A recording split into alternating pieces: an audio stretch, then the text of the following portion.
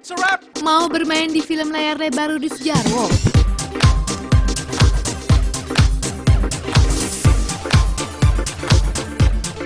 Dan tampil di cover tiga majalah terkenal. Kalau kamu wanita berambut lembut, kuat, dan tak berketombe, ikuti Clear Hair Model 2012, siap-siap terkenal.